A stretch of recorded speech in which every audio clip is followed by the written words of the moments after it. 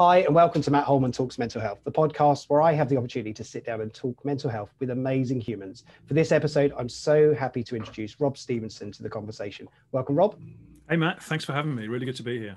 Oh, brilliant stuff. Well, thank you for participating in this as well. So, quick introduction from me. I'll let you do a proper introduction, let people know who you are. Uh, so, Rob and I are connected through, again, as many of these conversations are, through social media, through a connection in, in LinkedIn in particular.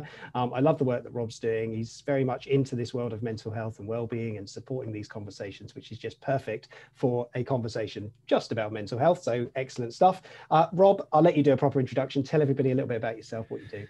Thanks, Matt. So, I am a mental health campaigner, and that means I'm on a mission of helping inspire the creation of mentally healthier workplaces and societies.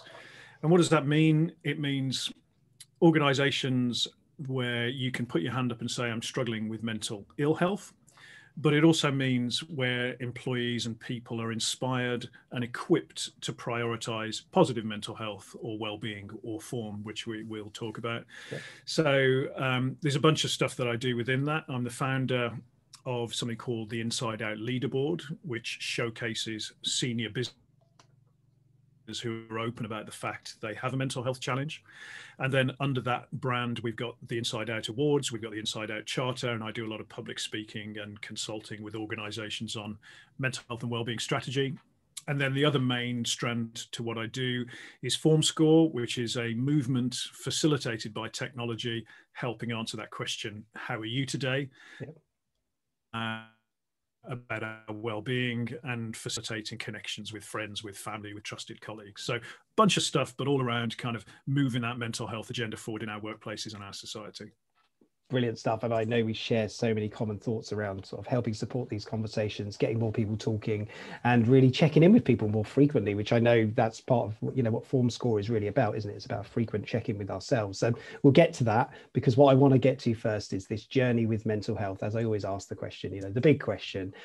Tell us a story about your journey if that's okay rob. You determine what that looks like and how that feels. Um, but yeah share with us what's what's happened to you or where you've been yeah, thank you. So, I mean, we all have mental health, right? And we, at some point, become aware of that. And we usually become aware of that because we have a challenge to our mental health. You know, we don't wake up one day and think, wow, I've had brilliant mental health for the last 10 years um, and, and, start reflecting on that. And we yeah. probably should. But yeah, for me, I look back through my late teens and my 20s and I see signs of erratic behavior that later turned out to be a mental illness. And you know, I remember my first year at university in in a my halls of residence room. It was about 7 p.m. and I heard a knock at the doormat and I kind of froze and pulled the blankets around me. I was in bed and I just prayed that the people on the other side of the door could not come in. I'm experiencing a fear reaction. And I could hear him saying, you know, he must be in there, he must be in there. And after a while, they walked away and I could kind of relax and breathe again. And thing is, it was two of my best friends at university just picking me up to go to some function or another that we'd arranged to, and I couldn't face them, and I did not know why. And I talked through my 20s as being just extremes of either locked in a room thinking I didn't like people, um, being antisocial. That's what I thought. I thought I was just antisocial. Yeah. Or at the other end of the scale, I'd be taking risks. I'd be taking my clothes off in public. I'd be the life and soul of the party. I'd be great fun to be around. I'd be making chaos happen everywhere. And it was brilliant and everything in between. Yeah. And I didn't think anything of it. I just thought I was different, which I was. And then as I entered the workplace and traveled through my 20s and got closer to my 30th birthday, I started spending increasing amount of times outside of work where I just couldn't face going in. I'd go to parks and walk around. You know, I just couldn't go to the office, and I, I thought it was because I didn't like what I was doing, which um, I was uh, a, a, recruitment consultant at the time, so may, maybe there's some truth in that matter. But um, you know, actually, what was happening was I, I was experiencing depression, but I didn't know what it was. And then I had this amazing boss at the time, and she noticed that something was wrong and said, I think you need some help. And she had suggested I go to the doctor, but she'd also researched the numbers of some therapists locally. And um, persuaded me and inspired me to go and get some help, which I did. And then I was diagnosed with depression, which later became a bipolar diagnosis. And uh, for your listeners, if they don't know what bipolar is, it's a mental illness characterized by extremes of mood from deep dark depression to periods of hypermania where you can take risks and make bad decisions and everything in between. And, and, there's some strengths and some positives in there, like creativity, drive, ability to challenge the status quo, all of that and so I was diagnosed, and I thought, brilliant, I can be fixed. You know, the, the medical profession can give me a pill and some therapy, and they'll make me well, which it did for a while. And then six months later, the depression came back, but came back with a loss of hope and a sense of futility and a, and a strong sense that I did not want to be alive anymore. And I, I remember the, there was a time um, good mates in my garden in Clapham Common beautiful summer's evening. We were just talking rubbish, shooting at the breeze, you know, having a drink. You know, you see these lads. We all owned a bar together on Clapham Common. You right. think these guys, we just yeah. got it all. We're having such a good time, laughing, joking, telling tales. And then eventually, my friends went away and went to bed and went home, and I could drop the smile, I could drop the facade, and I could carry out my plan, which that night was to end my life because of that sense of futility. Now, clearly, I was unsuccessful in that attempt and I was picked up by um, a beautiful man, a good friend of mine, uh, who, you know, looked after me that night, took me to my therapist the next day, and I had this nucleus of people around me that would help me and I could talk to about what I was going through.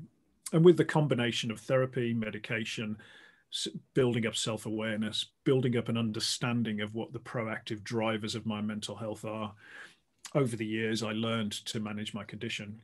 Um, not not in a fail-safe way, but I learned to know when I was in a period of depression and know that that was temporary, that that was not permanent state of being. I learned to recognize, with the help of my now wife, that when I'm entering a period of hypermania and I get my decisions sense checked and all of that. But you know, my journey then changed to be a campaigner because I was managing that challenge, those challenges in silence, other than those close friends and family that knew about it because of the stigma. Yep. Um, you know, and your background of we need to talk about mental health is so true because if we're experiencing mental ill health, talking is the start of the process to recovery. Yep. Now, I was fortunate, I, I had some close people to do that but the world at large, I thought you don't talk about mental illness. I was scared that clients, that friends, that employees yeah. would judge me um, and treat me differently. And that is the stigma of mental illness. And I remember in 2017, we saw Prince Harry share his story, and Prince Harry's in the press a lot, but he shared his story with Bryony Lee Gordon. And that was a catalyst in the UK society for more openness about mental illness. We yeah. saw the workplace picking it up my friend Geoff McDonald, I heard him talk, uh, prolific campaigner. And I thought, you know, why am I hiding this? Why am I putting physiotherapy in my diary every time I go and see a therapist for years? My team must have thought, Matt, I have the worst physio in the history of physiotherapy. Right, yeah. Um, and so I decided to share my story. Um, but the reaction to me sharing it in that pretty awkward face post was one of people confiding back to me about their own challenges. Okay. And that sent me on the direction to do what I do now and be a campaigner. Wow. And it's an incredible um, story as well, and all those elements. And I thank you for sharing those. And I know you, you talk openly and publicly about those things, but you know, again, it's just it's just wonderful to hear somebody be open and honest and, and you know share some of that and especially those lower moments those harder moments as well right because they're not easy to to think about and go back to i guess yeah and i think it's important, right? Mental health has become fashionable, and and by that I mean that organisations have grabbed onto it. People talk, which is great. Yeah. But I think I understand that when we're talking about a, a, serious, you know, serious mental illness, and you're a Samaritan, so you see this from the other side. Yeah. Um, that that actually there are some really difficult and dark times that people have to come to terms with. But there's always hope in in us being able to do so. So I made a commitment actually that when I started being open and sharing my story and being, you know, publishing my form score and being on stages, that I would share exactly how I'm feeling, the good and the bad. So yep. today I'm, you know, really good form, eight out of 10 um, on good energy and everything else. Yep. But if I was a four out of 10, I'd still be here and I would be sharing that as well. Because I think it's important to know that we all oscillate, we all move up and down that continuum. Yep. Um, and yeah, there will be people that might listen to this that, that could be a four out of 10 or a three yeah. out of 10 yep. or be in that really dark place. And my message to them is it's temporary, there is always hope, and it can get better, and it will get better. Brilliant. And I really embrace that. And I, you know, I talk about that as well. This fluctuation in our mental health happens all the time, doesn't it? And it's about having that, you mentioned it earlier about self-awareness and having the ability to sort of, you know, think about, okay, so or, or feel some of those thoughts and think, okay, well, this is this is a hard day or this is going to be tricky and my energy levels do feel low. So let's talk about form score because I'm, you know, really fascinated by this concept. And of course it's getting a lot of sort of notice and publicity to it, which is fantastic because it's definitely a tool that that really helps. So tell us, how did it happen? What, what where did it come from? Yeah, thank you. I mean, it, it's it's it's a beautiful story of something yeah. that that just grew organically. Yep. Um, now, probably about twelve years ago, um, a therapist worked with me to just identify a way of just tracking my mood. You know, okay. because for me, I can get very high with the hypermania and then I can get very depressed. And there's a bit in between that I have more influence over my mood, and I can proactively take steps to to manage it. Yep. And so, she suggested that I just track my mood with a score out of ten. Very simply, how do you feel today with a score out of ten? So I started doing this, and so you know, as as, as mentioned, I'm an eight out of ten today. Yep. If I start to go seven, six, five in the next few days, I'm very simply asking myself, why is that? And there's a bunch of questions that I've evolved around it that I've asked myself for years, but it's all around those proactive drivers of our mental well-being. How well have I slept? How well have I exercised? Do I feel connected to people that are important to me? Do I have a strong sense of purpose? Um, is my financial well-being in order? Am I helping others? Am I balancing stress with moments of recovery, etc., etc.? And sometimes, not always, I can identify what's causing that that drop um, i.e., I might be experiencing too much work stress, or I'm not sleeping enough, or I haven't got out and exercised, or I'm not connected enough to my wife and children. Yep. And then I can take steps, and, and I can take steps to adjust my life, and small steps, little tweaks, to think, okay, maybe I'll go to bed this afternoon and get a catch up on some sleep, or maybe I'll get out and go for a walk in nature. And that can often then uh, just stop that drop to being a, a, a low score and ultimately causing depression again, not fail safe, but it's building that awareness. Yeah. Now, as a campaigner, I thought a couple of years ago, why don't I just start publishing it and see what happens? I'm being open about my story. I'm putting everything out there on LinkedIn. Why don't I start publishing my score?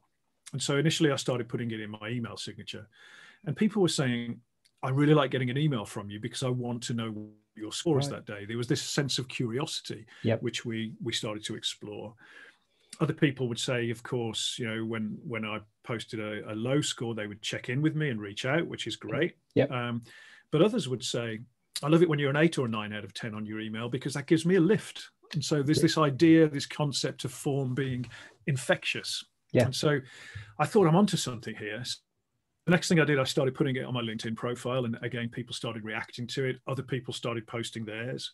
There's a chap down in Australia, uh, Todd Hopwood, who um, put his score on a whiteboard outside of his office okay. um, and would put it each day so his colleagues would know how he was doing.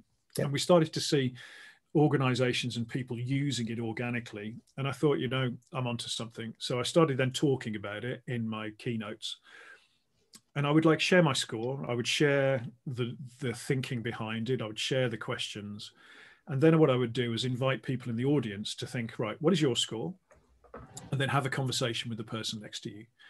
And it was it was amazing, Matt. It would start off like really quiet and people yeah. whispering, and then the volume of noise, noise. would rise, the yeah. eye contact, and people were smiling and laughing, and I couldn't shut the room up. And I, I did it in small rooms, big rooms, and I'm like, wow, people are really connecting over the simple question what's your mental health today effectively? What's your score today? Yep. And so that really then motivated me to think okay there's something in this about connection there's something in this about self-awareness there's something in this about tracking and there's a million mood trackers out there. I'm not trying to be another mood tracker. No. And we developed form score as a way to give that gift of self reflection, but then importantly, connect with others that we care about friends, Brilliant. family, trusted colleagues to share form scores. So if you, you know, we're connected on the app, you can then see my score drop from an eight to a five. You'd get a notification hey, Rob's score has dropped by three points today. Check in with him. So it's opening the door to peer support yep. um, by giving that awareness that a friend might might need so, you know, to to have a little message or a call.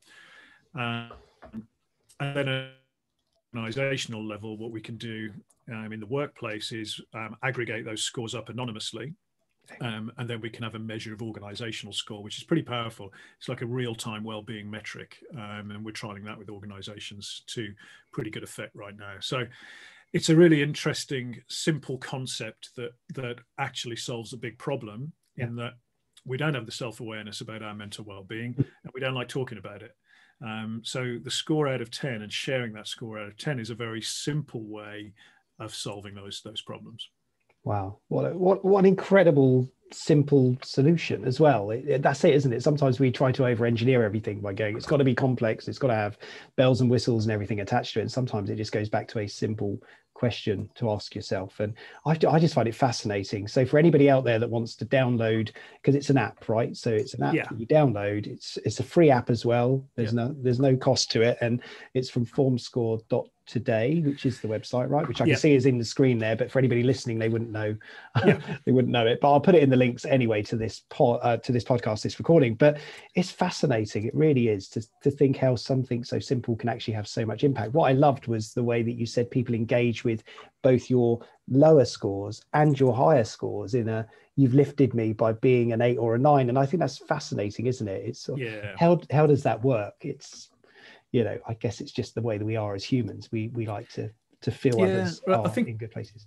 Go. You're right. I think it's really interesting though because you know the the way the um, the, the the form score is set up, and I'll just give you a bit of the, the a different background. Yeah, uh, I know the pods can't list to this, but you've got. Yeah. So what, what we're showing here is the, the home screen where you've got your score in the middle, and then you've got a circle of uh, trusted colleagues and friends and people you're connected with around the outside. And so you can see immediately the scores of those eight people or so.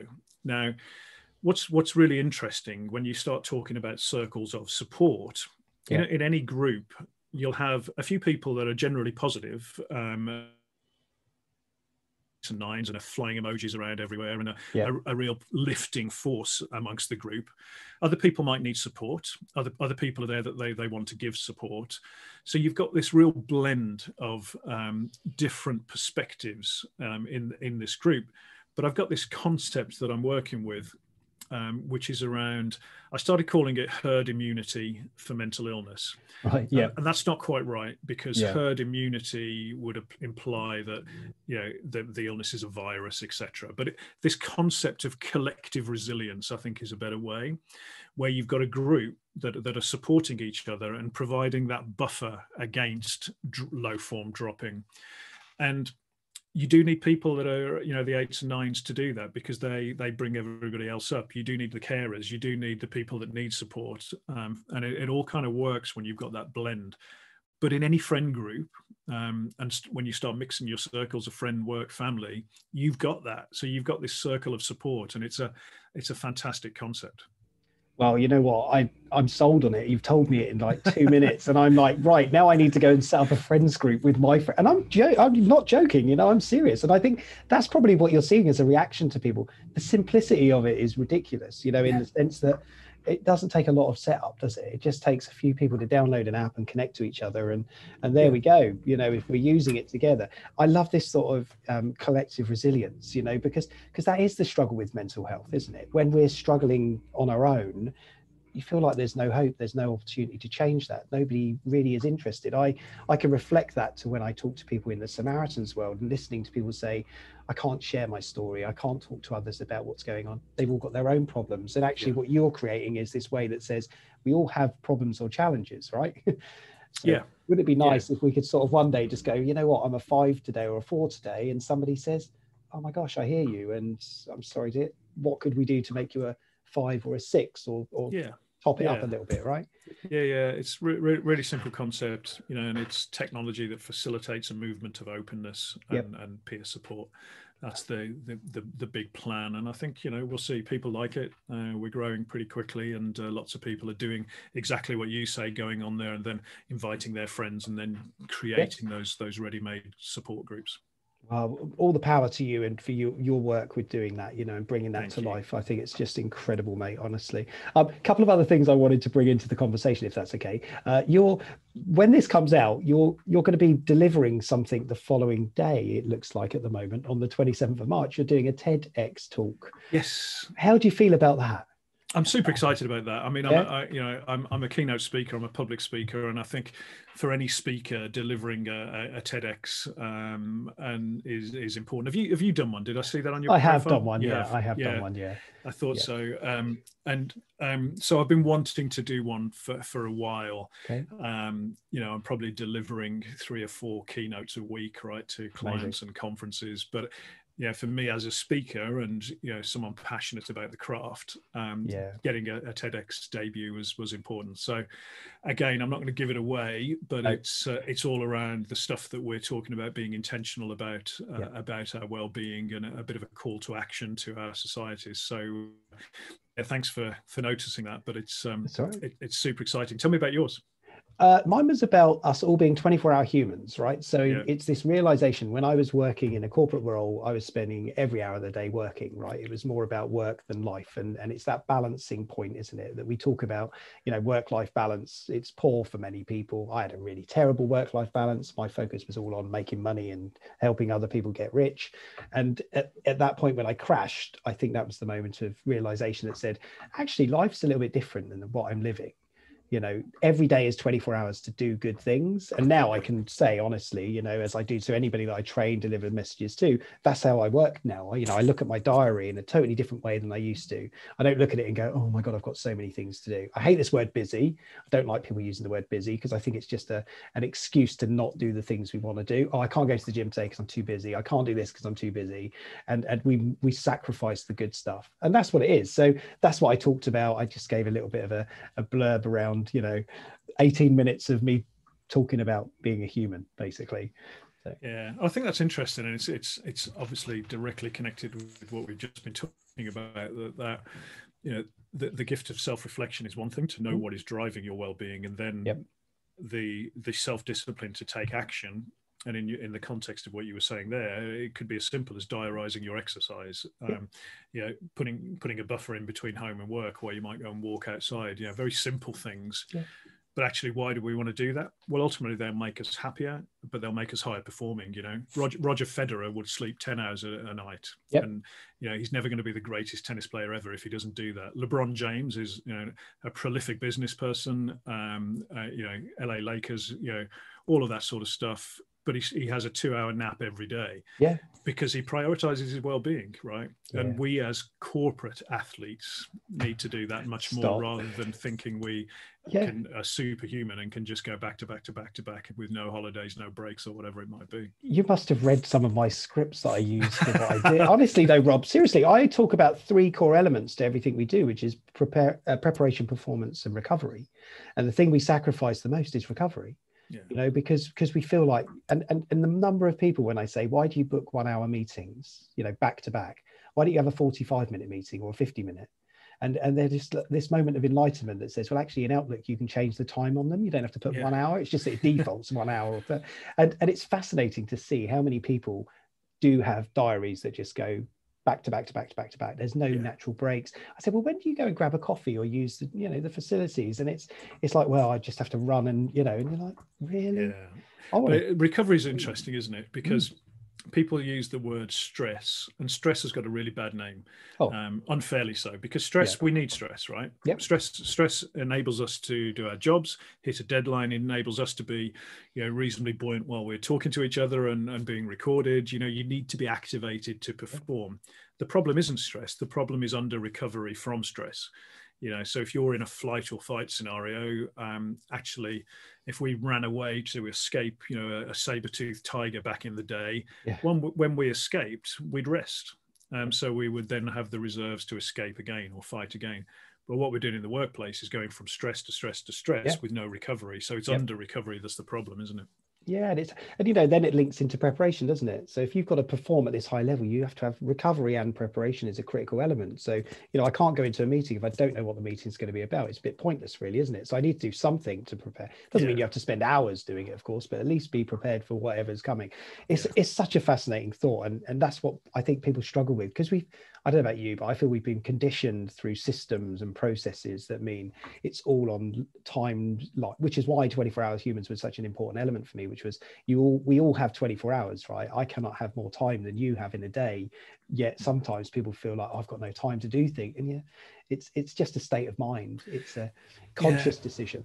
Yeah, I, lo- I love that as well. You know, we, we, when people say I just don't have the time, well, you do because we all have the same amount of time. It's yeah. what do you choose to prioritize in your time, yeah. um, and do you make a conscious choice in doing that? Yeah. And I think it's interesting as we've moved from a more structured office-based environment to remote working. A lot of us don't have the self-discipline to to to handle that properly, um, or to handle that effectively. That's probably a better way of putting it because you know in the office, we'd have those enforced breaks. We'd have to walk to a meeting room. We'd have to go and get our lunch. We'd have to go to the coffee machine. We'd get stopped by a colleague, and all of a sudden your day's broken up. Whereas here, we're like, boom, eight hours, right? Yeah. Um, and so you've got to be intentional about putting those breaks in. Um, and you know, for me, that's an educational thing to build up the literacy of why is proactively managing our well-being important um, as individuals and how to do it. Yeah, no, you're absolutely right. I totally agree with that. And I think every element of our life has an impact on our form score, and work is one of those big ones. You know, when we talk about self-care, work is such an important part of our self-care routine as well to encourage us to take breaks, to encourage us. I know lots of people who still don't take holidays, and I'm probably as much to blame for that in my own business where I just kept on going because I was like, I need to keep on going. And but but I'm very conscious of taking breaks now and not. Yeah. I, to me, it's it's interesting. I'll, I'll ask you a question. Somebody asked me about switching off at the end of the day I responded and said, I switch off during the day, you know, so so I don't feel like I have to have a definitive this is me switching off. I feel like if I need to switch off, I can. Because a lot of people get fixated on that. Oh, I'm working till five and I'm done. But then people sneak over, don't they? So I don't know. What do you think about that? Yeah, I, I think it, it's it's a really interesting question, and and I think for and, and, you must feel this a little bit as well. For me, I'm so passionate and driven about what I do yeah. that it doesn't feel like work for me. It's not a chore what I do. I love what I do. Yeah. Um, so switching off in the day um, is, is probably not what I need but breaks in the day are what I need. So I'm, I'm a big I'm a big fan of a lunchtime nap. You know, oh, I'll me often, too. I'll often schedule them, and yep. that is you know, I'll, I will switch off because I'm asleep. Um, my particular bipolar brain sometimes doesn't like to switch off, so I'll need to do things to to, to force it to. Um, okay. So the big one for me is DJing. I love to spin a few tunes, hey, and when you when you're in the mix, right, all yeah. you're thinking about is the music. You're not thinking about anything else, and it's mm. it's uplifting, it's joyous. I like my music. Um, and so for me that's my um, version of mindfulness it's very much in that moment playing a few tunes and if i can do that at the end of the day that that is a really nice way to finish up what i've been doing Brilliant. I, I love that. I, I did a recording recently with a friend of mine, Chris, and he said he likes to walk in the woods listening to trance music. And it takes him back Brilliant. to to years on the beach in Thailand, you know, and just enjoying just it's just about yeah, oh yeah, anyway, it's really fascinating. I love it. Um, Rob, we are coming to the end of this conversation. Half an hour just disappears, doesn't it? You know, this thing about time and I'm not putting a constraint on we have to finish in two minutes. Um, because I want to just throw it over to you and give you the sort of floor to say anything you want to say to wrap it up, anywhere you think people can get more information or you want to share anything. But just from me, just to say, Rob, you know, we've never spoken like this as a chat, you know, sit down chat. And it's just been fascinating. I've absolutely enjoyed it. It's been, so enlightening for me to think about different things. And, you know, I work in a very similar place to you in a similar world, but you're teaching me so much through what you're sharing with your story. So thank yeah, you for that. Yeah, my, my pleasure, and thank you for having me. It's been been great to chat, and um, you're right. It's uh, um, it, it, feels like we've made a good connection during this this conversation, which is brilliant. Yeah. Um, so my, my little time to, to to wrap up and thank you for giving me that. So do check out the formscore app you know formscore.today um, and yeah let us know what you think. We're testing it we're taking feedback. Would love uh, some of the listeners and watchers to uh, to check it out. Um, the other call to action um, for what I do is the Inside Out Leaderboard. So, if in your workplace you have a senior leader who is open or prepared to be, um, have a look um, inside-out.org um, and check out the leaderboard. I'd love to hear more. Um, but I think I'd like to just leave with a, a call to action for um, everybody that hears this. And if you can do one thing today, if you can do one thing differently, that would be just be a little bit more intentional about your well-being. So ask yourself that question: How are you today? If it feels right, give yourself a score out of 10 but really reflect just for a few minutes on what is driving that. And then ask yourself the question what could I do differently? What could I do differently that might boost my form, that might boost my well being? And do one or two things differently over the next few days. Because if we can start doing that, those little marginal gains, those little micro steps, we can transform our lives. But we've got to start by being a little bit more intentional. Brilliant. Being more intentional. Rob, thank you so much. My FormScore today was about a seven, but it's creeped up to about an eight now because you've just inspired me with your words and wisdom and everything else that you've been going through. So I really do appreciate that. I genuinely mean that. Um, I'm going to get out and have a nice long walk at lunchtime today. That's my that's my call to action for today. Get out and get some activity and some exercise. So, but brilliant stuff. Thank you so much for anybody that is listening still, if you are struggling or you do have any worries or concerns, you know, this thing about this podcast is about accessibility. You can always reach out to me, and I'm sure Rob would be more than happy to field any questions or things if anybody needs any extra support. Um, but there are organizations out there, of course. And, you know, I talk about Samaritans all the time, but Samaritans exist for that reason. When you're feeling those worries, those concerns, and you don't feel like you've got friends, family, or anybody that you can talk to, there is always somebody that cares. Pick up the phone, 116 123. It's free to call any time of day, or you can text to Shout if you prefer to send a message. So 85258 is the number. But just know somebody does care. We are listening. And it's so important that we continue this journey talking about mental health and how we're feeling. So thanks, Rob. I really appreciate it, mate. Look after yourself. You too, Matt. Thanks for having me.